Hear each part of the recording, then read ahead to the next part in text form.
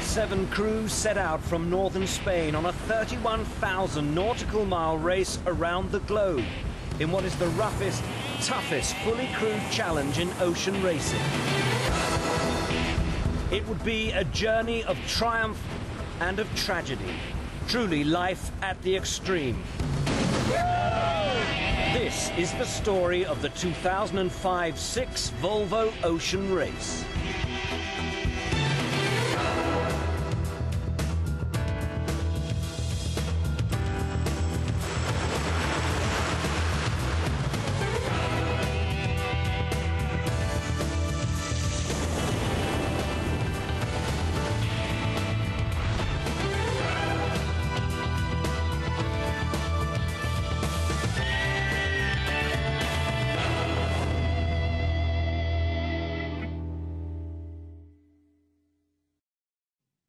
Volvo is still the battle against the harshest conditions on the planet it always was.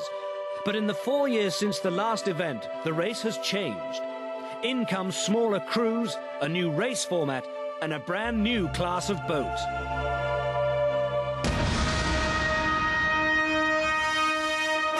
The Volvo Open 70s are the fastest fleet of monohull racing yachts ever built. Not so much boats, say their skippers, as weapons.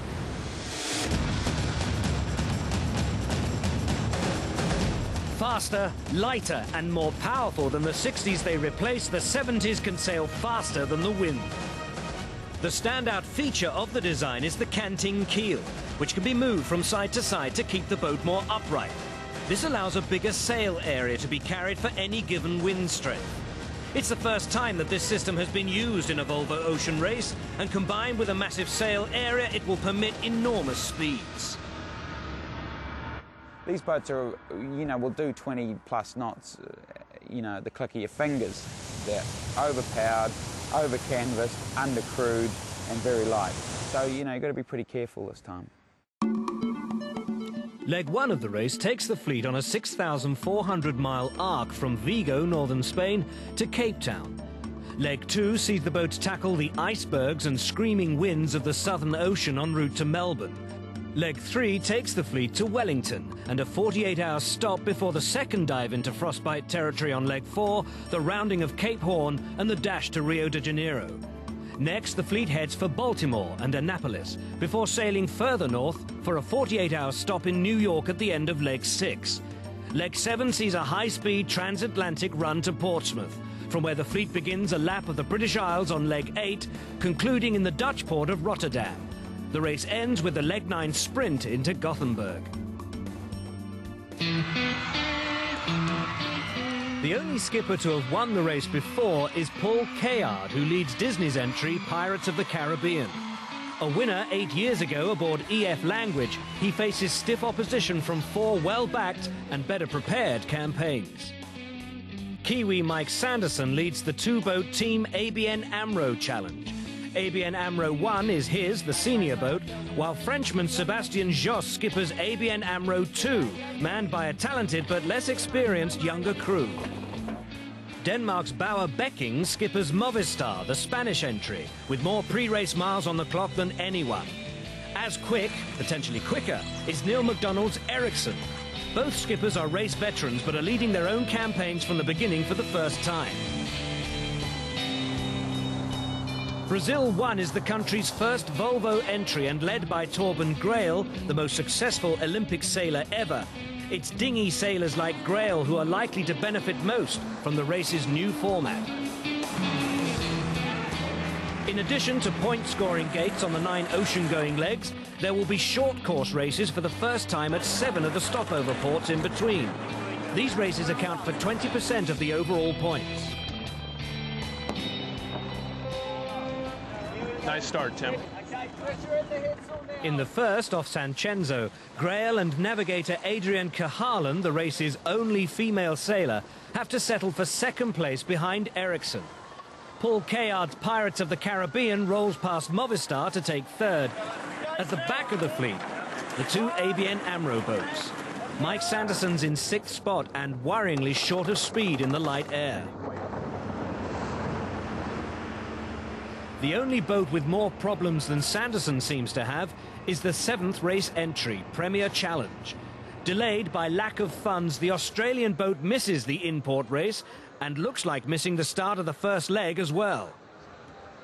It's only when a new sponsor steps forward at the 11th hour that it can even hope to take part. But the boat is still failing to meet race regulations on several counts, and drastic measures are called for. We've had an absolute shocker, actually. We uh, got the new keel bulb and fin up to the aeroplane in Melbourne to fly it over here. We thought they were just going to be able to strap it down inside the plane, but they rejected it because they were worried about it moving inside the plane. So we've had to uh, get to with the planer and the chainsaw and uh, chop uh, a few hundred kilos off the keel, off the bulb that we had.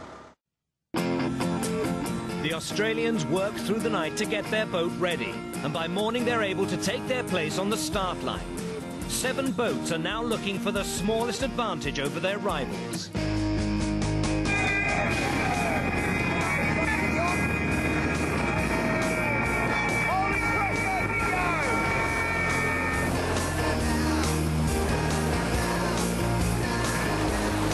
I know nobody can win the round the world race tonight, but you could lose it.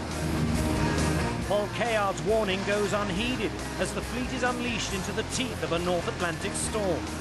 Movistar and Pirates of the Caribbean crash out with structural damage and keel box problems. He's just got your cannon shot that went off. We just had a little fire on board.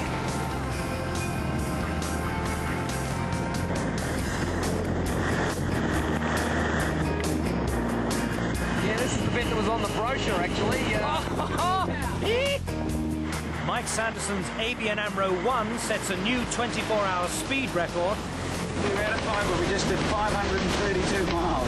You'll be you. and atones for last place in Sanxenxo by leading the fleet into Cape Town for a Team 1-2.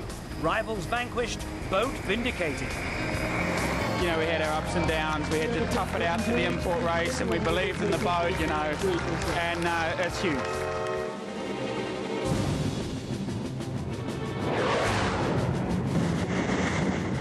Fallible on the first leg and fearful on the second, the Volvo fleet runs into trouble again. Deck delamination on Brazil 1, keel ram failure on Neal McDonald's Ericsson. Um, certainly, as it stands right now, going into the Southern Ocean would be ludicrous. Uh, you know, it's what we came down for. Just what this boat's designed for. It's all good. As the Westerlies kick in, ABN AMRO 2 kicks on, breaking Mike Sanderson's speed record in pursuit of the senior boat. 550 miles in a wide boat!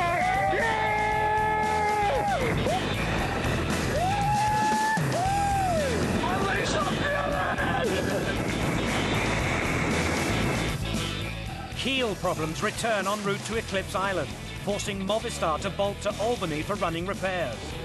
Pirates follow but can't make the pieces fit. What was wrong? The drawing was wrong. Therefore, it doesn't fit. Two days later, Brazil 1's mast collapses, leaving Torben Grael's men floundering towards Fremantle. It takes a five-day outback odyssey to get the boat to Melbourne. Back on the water, it's another triumph for Team ABN AMRO. Juan Kouyoumdjian's design looks invincible in moderate and heavy airs. The winning skipper's elated but exhausted. It's been the most intense three weeks of yachting in my life.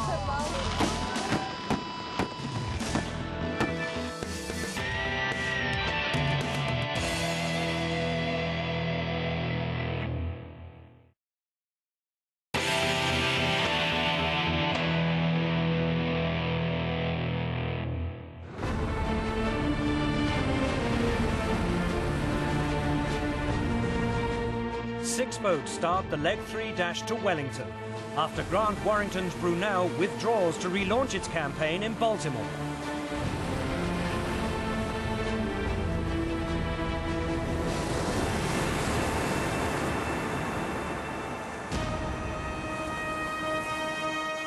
The trip across the Tasman Sea proves testing and tight. After four days racing, the leg produces the narrowest margin of victory in Volvo Ocean Race history.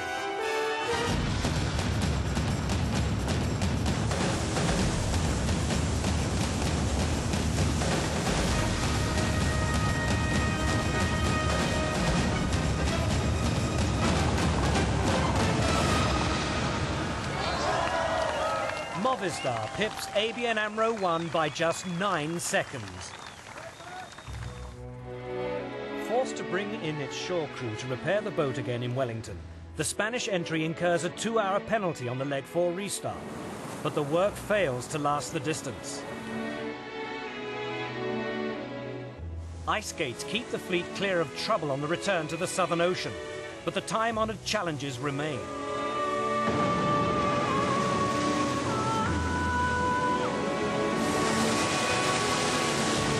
Southern Ocean, that turns what boys into men. Less than 200 miles from Cape Horn, Movistar starts taking on water rapidly through a damaged keel box. The level reaches hip height before emergency pumps can be started to save the boat. Movistar's Leg 4 challenge is over, and realistically, any chance of challenging ABN AMRO 1 in the race overall. There she is, the After rounding Cape Horn, the fleet bunches up in light changing conditions that test the patience of the navigators to the limits. But even in the light, ABN AMRO 1 proves hard to reel in. And while the battle rages for second, third and fourth, it's Mike Sanderson's men who are first into Rio.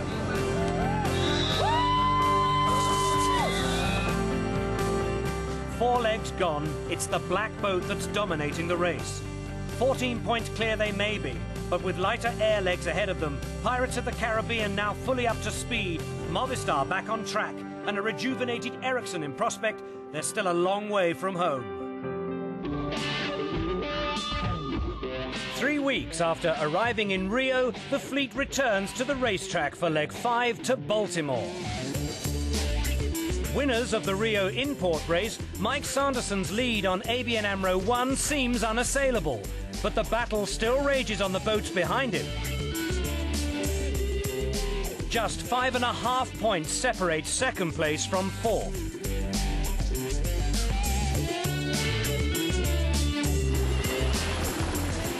But the leg 5 restart takes place in light and unpredictable conditions, with the wind only coming up shortly before the gun.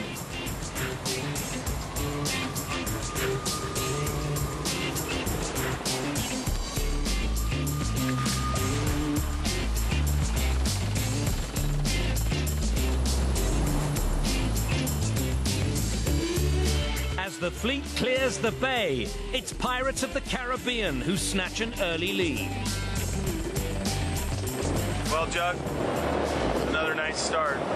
That's why they have the big Jesus Christ over uh, Guanabara Bay to, for things like that. They need to start at 110, the wind comes in at 105. On the way to Baltimore, our Volvo fleet have the opportunity to pick up more points at the Fernando de Noronha scoring gate before they head north towards the USA. Just short of the scoring gate, ABN AMRO 1 make their move on the leg leader. Movistar are suddenly looking over their shoulder.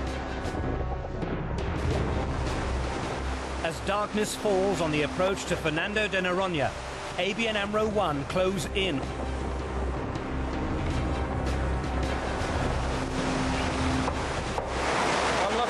his stern again. Two length separation. He's just got another wave. Early in the morning, there were like a little dot on the horizon, and we just knew in these conditions we had, like uh, reaching conditions 12 to 18 knots, that they just go a little faster than us. So we knew we were in for a, for a tight one. No time for despondency on the Spanish entry, however, as reaching the Northern Hemisphere sees King Neptune appear to mark Fernando Echavarri's first crossing of the equator. Welcome on board. Thank you. always a pleasure. Thank you. We got one offender only this time. One offender, yes, I remember all of you many times. Ah, you! Yes! Yes! Yes! While ABN AMRO 1 and Movistar pull away from the rest of the Volvo fleet, a duel for third develops between Paul Cayard's Pirates of the Caribbean and Torben Grael's Brazil 1. Pirates of the Caribbean. In front of me, another thousand miles to the Caribbean. I'm Dutch. I think my Navy still has a standing order to sink anything that displaces Jolly Roger, to let them get away with it. However, rule one of being a pirate, you need a faster yacht than your prey. Not today. Day 16, Rio to Baltimore, and ABN AMRO 1 makes its way up Chesapeake Bay towards the finish line. Over 4,950 miles behind it, less than 50 to go. Renowned for its capricious winds, tides and sandbanks, the Chesapeake's challenges have so far been slow to materialize. The threat from Movistar has also yet to appear, still some 30 miles behind. The Chesapeake Bay Bridge is the last major landmark en route to what looks like being their fourth leg win from five attempts. But with less than three miles to the finish, the black boat simply stops. Trapped in light air and fighting a one-knot current, Sanderson's men resort to dropping anchor. Behind them, rivals Movistar are closing at 13 knots, raising the spectre of ABN AMRO 1's defeat in Wellington at the hands of the Spanish entry at the end of leg three. By the time the breeze fills in again for ABN AMRO 1, Movistar are less than 20 miles in arrears. It's a relieved Mike Sanderson that finally crosses the line 15 days, 2 hours and 47 minutes after leaving Rio. This is a childhood dream of mine since I was five years old. Everything I've done has been to try and uh, one day hope to skipper a Volvo boat. So uh, never, the novelty never wears off. It's never less special. And um, yeah, this is another fantastic one after a very tough leg. So, with their fourth leg win of the race, ABN AMRO 1 now have a yawning 22-point lead. But below them, it's a different story. Just a point and a half separating Movistar in second from Pirates in fourth. In fifth place, it's Brazil 1, Ericsson still struggling in sixth. Baltimore also sees the return to the race of Brunel. The Australian entry withdrew after the second leg due to financial constraints and must now start on zero points. So seven boats take to the water for the in-port race, where the light winds are expected to favour the narrower, Farr-designed entries. After a close battle with Ericsson, it's Movistar who pull off the move of the race to snatch the lead. And with overall leaders ABN AMRO 1 struggling in these conditions, the Spanish entry holds on to record its second win of the race.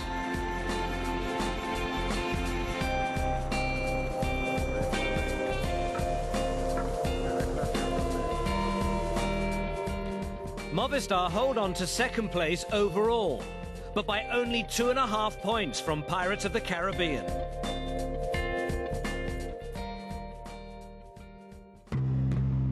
For Mike Sanderson, the stopover in Baltimore brings a unique challenge.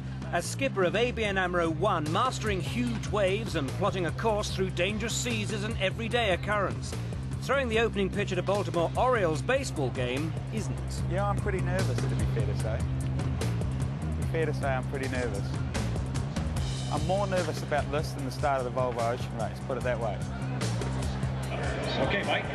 Whenever you're ready, it's your pitch. I'm useless. Ah. Oh, better stick to the day job, Mike. A bouncer. Sorry about that, mate. I don't after a week's training, that was just shocking. Once again, we congratulate and thank the skipper. Well, usually I always support my, my skipper, but tonight I take my jacket off. Not a good picture. It was a disaster. Terrible. Five, four, Race day, Annapolis. one, strike. The sixth leg will be a fast and furious charge out of the Chesapeake Bay and up the eastern seaboard to New York. Over 2,000 spectators lined Bay Bridge as one by one the fleet set their spinnakers, bound for the exit of the Chesapeake Bay.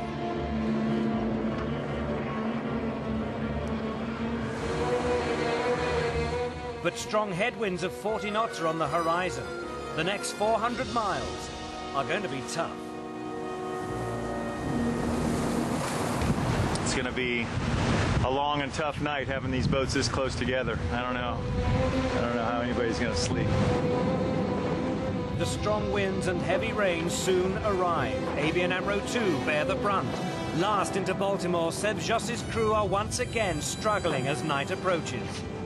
Now we're pretty much uh, upwind all the way to Ambrose Light, so uh, it's going to be uh, more of this pounding upwind conditions, which is not that pleasant.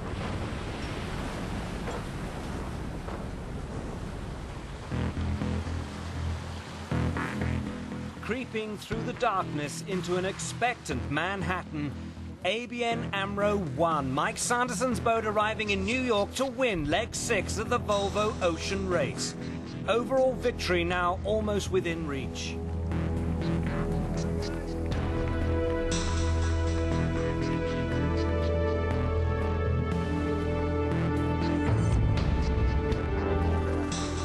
While dawn breaks in New York and Sanderson's men leave the quayside in search of warm beds, drama begins to unfold on the water. Pirates of the Caribbean make a break for home ahead of the rest and claim second spot.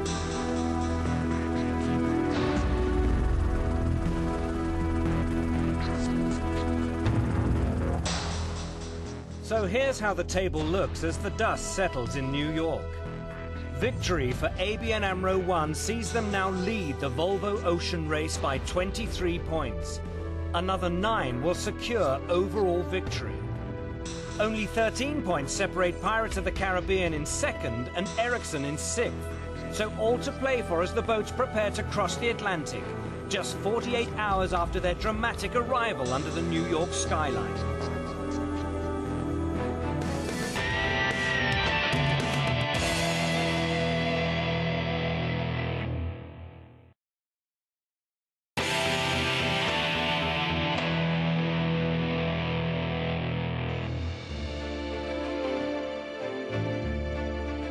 The short but punishing leg six from Annapolis, the Volvo fleet has just two days in which to rest and prepare the boats for the 3,200 mile transatlantic dash to Portsmouth on leg seven.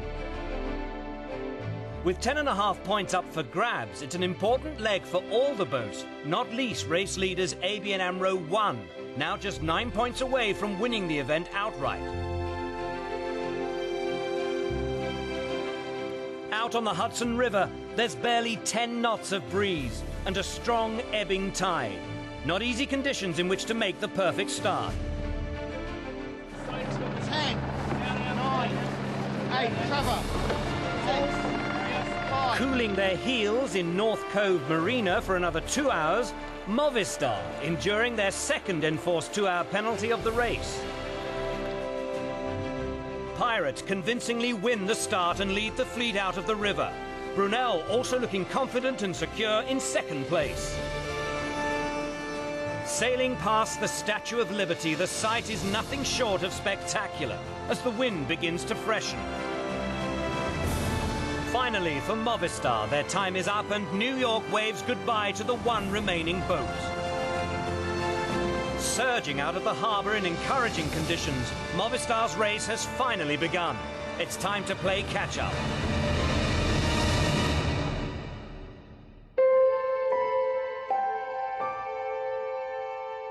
On day 8 for ABN AMRO 2, racing becomes an irrelevance.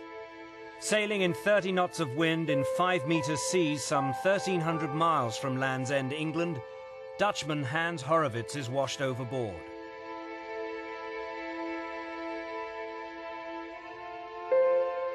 Did he have a life jacket on? No life jacket, no harness. Thank you. All the people on the deck at the time, except for Hans, were clipped on. It changed very quickly, and the wind was get, getting up quite quickly, and uh, and uh, we were in the process of, uh, of of clipping on. A matter of 30 seconds or a minute, he would have been down there and put his harness on to come back on deck. Being the navigator, I was uh, the person responsible for hitting the man overboard button and uh, just making sure we went back to uh, to where we lost Hans over the side. We were only 1.6 miles away from Hans when we had the spinnaker down, the, uh, the staysail furled, a daggerboard down so we could go upwind and the boat was turned around and, uh, and heading back.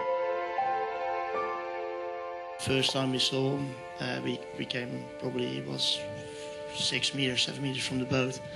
Uh, tried it once, but the swell was too big, so I couldn't get him.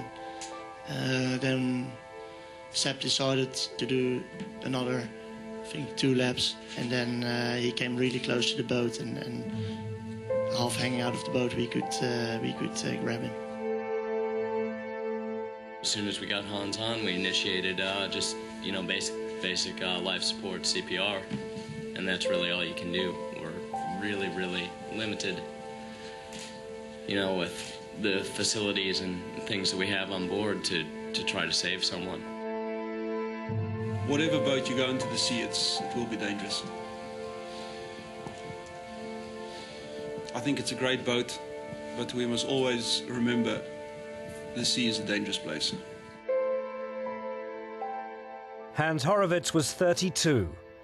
He leaves a partner, Petra, and a young daughter.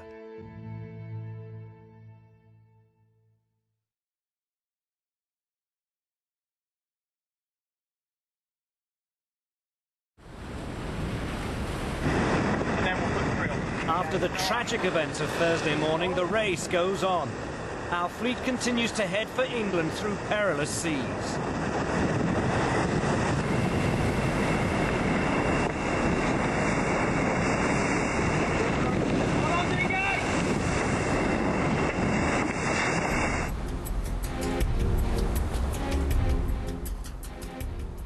At the head of the fleet, Mike Sanderson's crew surge through the scoring gate off the Lizard, gaining maximum points.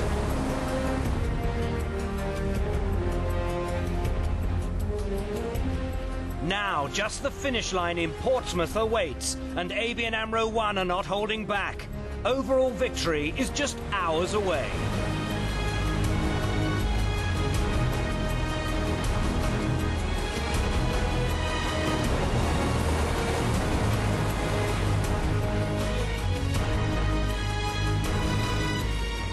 10 days after waving Manhattan goodbye, ABN AMRO 1 tears across the finish line in Portsmouth to take leg 7 of the Volvo Ocean Race, securing overall victory for Mike Sanderson's crew. Uh, it's such a special moment. This is my my Olympic medal. This is my climbing of Mount Everest. This is my my childhood dream to get to skipper a boat and win it in the Volvo Ocean Race. We had to go on to the finish. Um, that's what Hans would have wanted. Um, suddenly, I got this urge that we had to go on and win the leg, and by winning the leg, that meant we won the race. And um, you know, as a, as a good friend, Mikey Howard.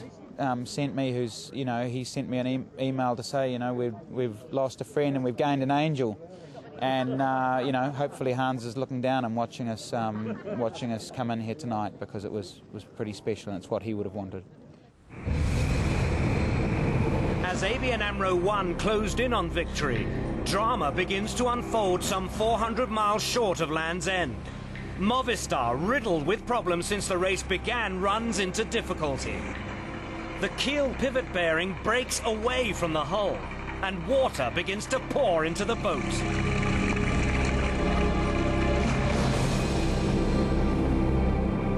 ABN AMRO 2, carrying the body of Hans Horrevoets, alter their route and come to assist the stricken Movistar. A desperate crew attempt to stop the leak by securing the keel with ropes. With the boat taking on more water, Bekking and his crew are left with no option but to abandon ship.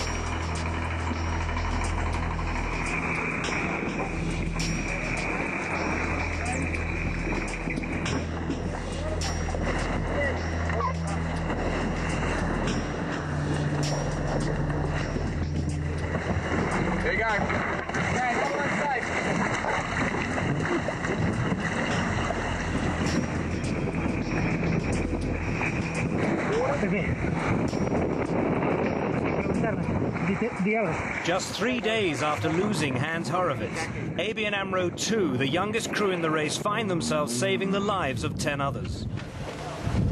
Much appreciation to you guys. See you later. Thank you. Uh, that's it.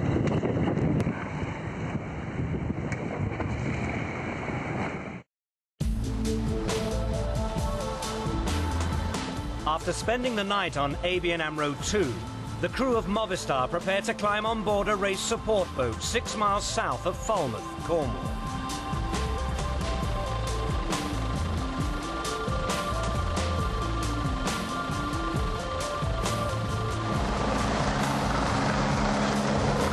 All that's left of a $5 million yacht.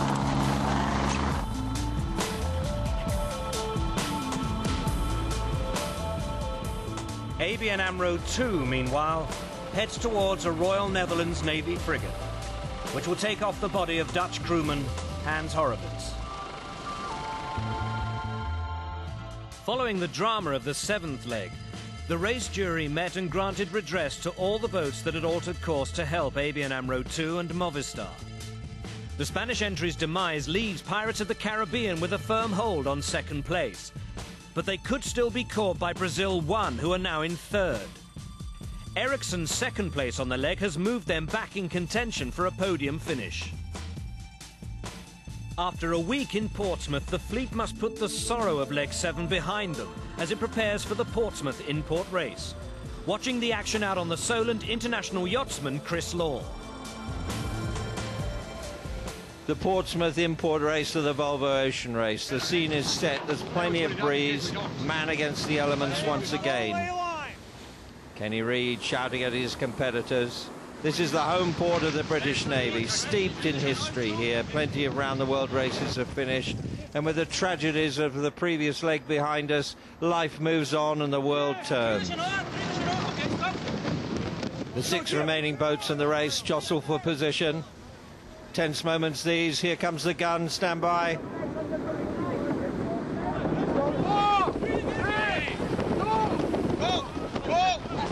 Go, go! Great start. There's the gun. Look at that. All boats really tightly bunched at the weather end. ABN AMRO 1 slightly late sheeting on. ABN AMRO 2 to windward. Brunel got a flyer. Brazil 1's clear too. Pirates at the leeward end driving hard. They want the left upwind, I'm sure of that.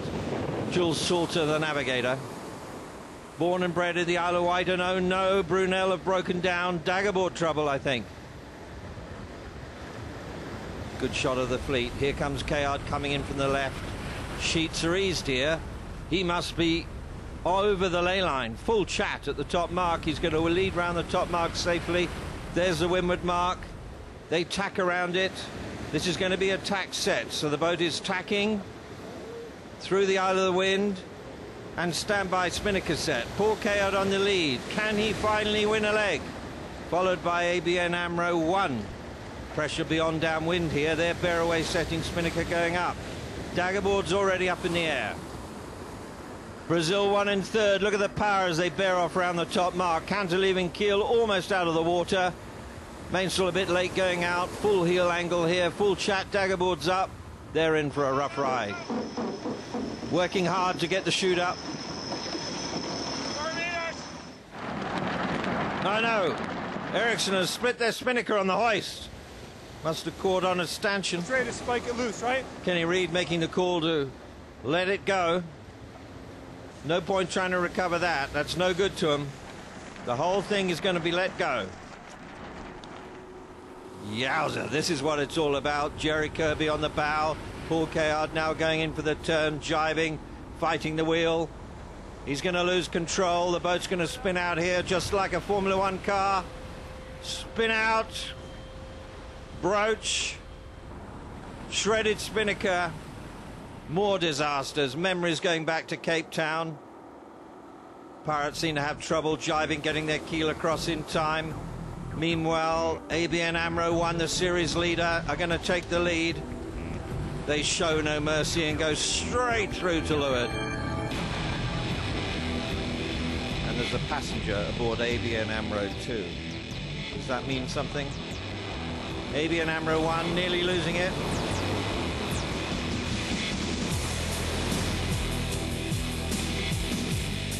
Pirates in second, pushing hard.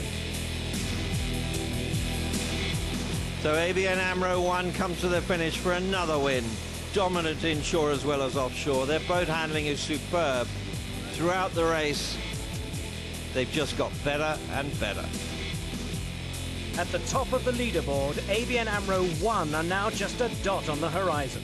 The race sewn up with two legs to spare. Paul Cayard's second place on the Solent cements the Pirates' second spot overall. Brazil 1 now seven and a half points behind them. Movistar's plight sees ABN AMRO 2 move up to fourth place, still within range of a resurgent Ericsson. So ends an extraordinary few days for Mike Sanderson. His wedding, his birthday, and victory in Portsmouth.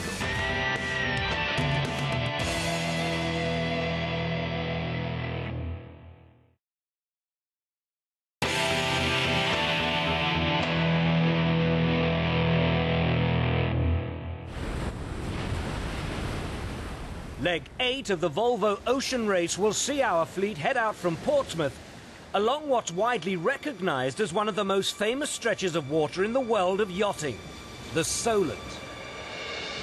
The boats will then head along the south coast of England, around Ireland, up to the very north of the UK, and then back through the North Sea before eventually reaching the finish line in Rotterdam, Holland.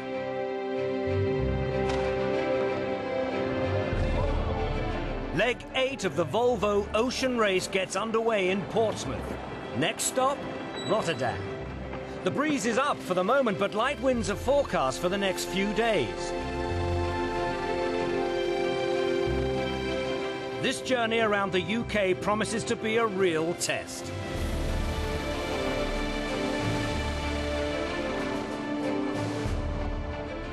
As feared, within 15 minutes of the gun, the wind dies. The excellent starts made by both ABN AMRO crews count for nothing.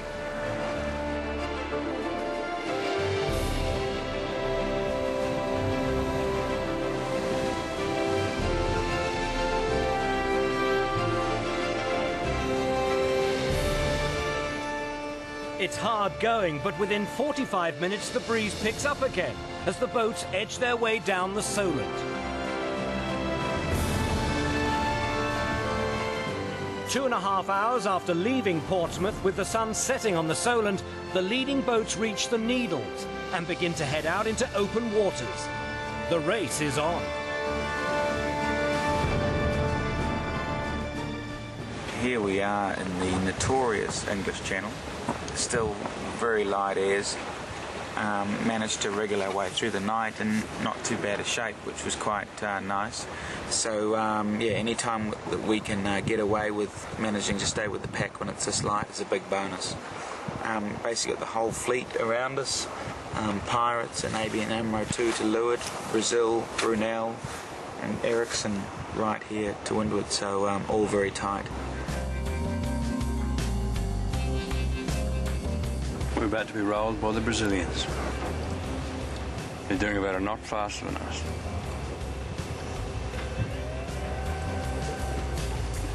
It happens. Oh my god, it's the pirates! Look out!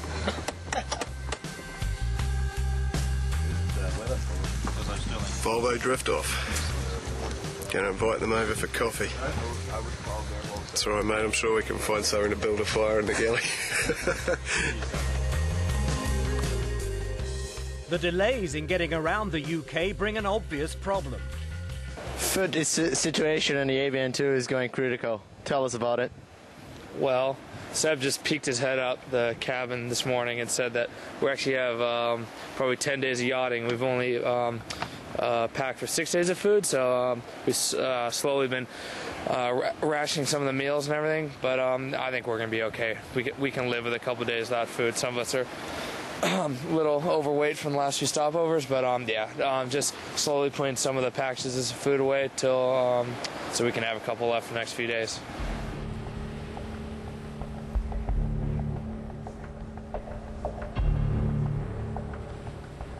The last five days of sailing have seen an average of just six knots of breeze. The first group of three boats has only just cleared the northeast tip of Scotland, 450 miles still to run even with the now shortened route. Suffering along with everybody else, ABN AMRO 1. Had a pretty tough day here watching Ericsson and Brazil 1, which you can see over my right shoulder. Um, come in on us a lot in their lighter airs. The breeze has just built back a little bit, maybe up to seven knots, and uh, we're reaching on close to on course. So hopefully we can hang on a little bit better. Ericsson also crave their first leg win and share the lead with ABN AMRO 1 and Brazil 1 as the first group makes for Rotterdam in a freshening breeze. Now 100 miles behind them, the second group are still suffering. Fourth place Pirates rationing their four remaining meals to one every 100 miles. Finally, after more than seven days of racing, two more than expected, a delighted Torben Grael and crew emerge from the darkness to claim a popular victory. The winning margin over ABN AMRO 1, just 3 minutes and 10 seconds. Wonderful achievement to win a leg. Very demanding on the concentration, on the light airs, to, to get every little puff to, to stay in front. So I think uh, uh, crew did a wonderful job, and uh, everybody's quite happy.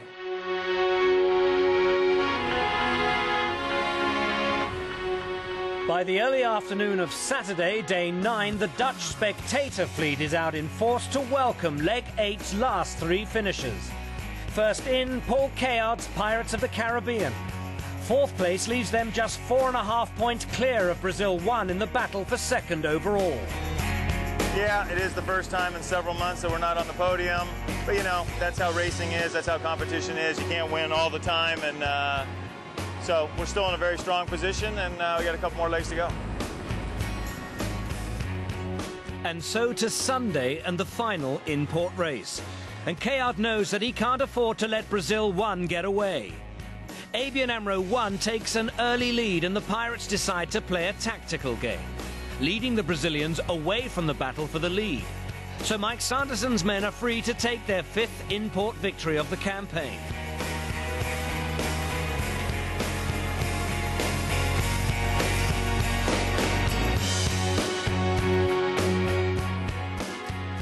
So at the top of the leaderboard, race winners ABN AMRO 1 increase their lead, now 28 points clear. The podium places are still not confirmed. The Pirates lead over third place Brazil 1, now down half a point to just four.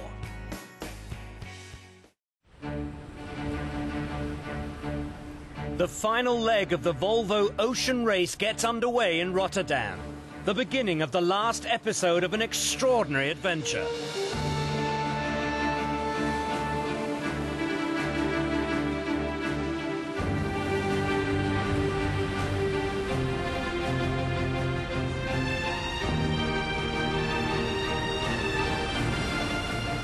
The fleet soon splits with ABN AMRO 2 gambling on an easterly route, putting them at the front of the fleet. Spotting this, Brazil, Brunel and Pirates of the Caribbean all make a dive for the easterly course. By morning, it's Paul Cayard's Pirates of the Caribbean who emerge ahead as the finish line draws near.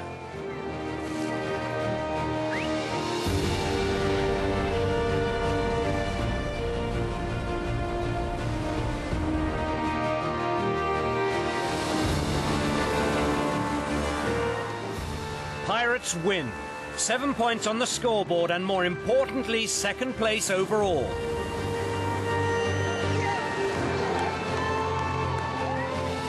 ABN AMRO 2 put an end to their string of last places, second in leg 9 and securing fourth place overall.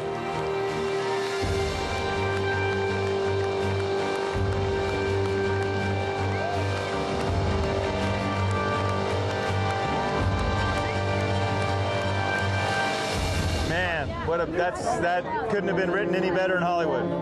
I love the race. This is what I do. It's what I enjoy doing. So uh, I'm very happy. I can't complain.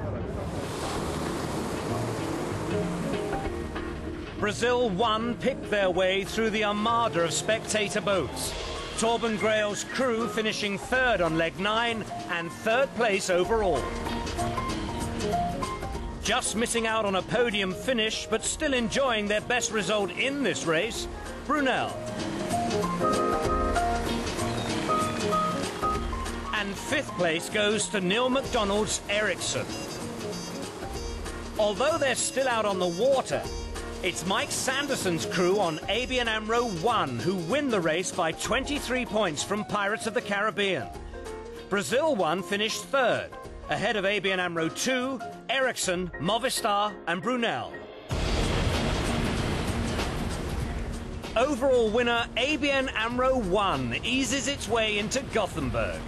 Mike Sanderson's crew has dominated this epic race in spectacular fashion.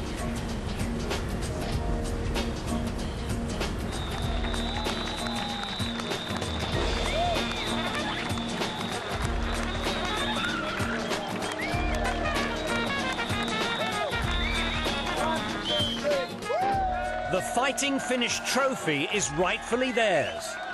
This race promised seven months and 33 and a half thousand miles of life at the extreme. And it duly delivered.